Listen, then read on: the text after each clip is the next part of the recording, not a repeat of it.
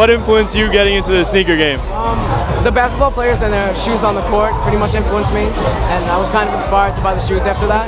My friend Cameron, he influenced me in this sneaker game, and I've been in it for like two years. Two or three years ago, I actually actually saw the Kobe Grinches, which we have a bunch of over there. They kind of just caught my eye, I guess, and it sparked my interest.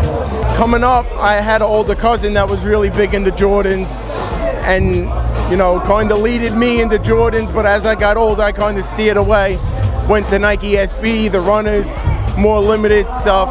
Since I was about 10, uh, just watching basketball, just like seeing their shoes and everything, and like then seeing the price tags and be like, oh, like if I'm gonna get into this, I gotta like take this seriously because like it's not easy to get a bunch of shoes and everything. Black Cements got me into the game because I saw them and I was like, oh, those are really nice. But I think it was definitely me just watching basketball and going out to the park, seeing all older kids with, oh, with new shoes and stuff. So yeah, it, it was definitely like TV and just people outside.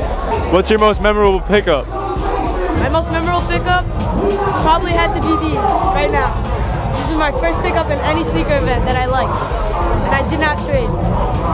My most memorable pickup, honestly, was a pair of unlucky Nike SB highs that I bought dead stock for $150.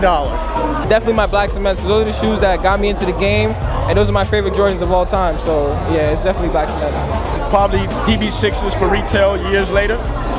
When I bought a pair of Air Yeezy 2 Platinums for $2,500 at SneakerCon, uh, eggplant Foamposites because uh, my mom she uh, she never let me leave school early. She always made sure I was in school. Like if I if I tried to sneak out, I'd get like punished for like years.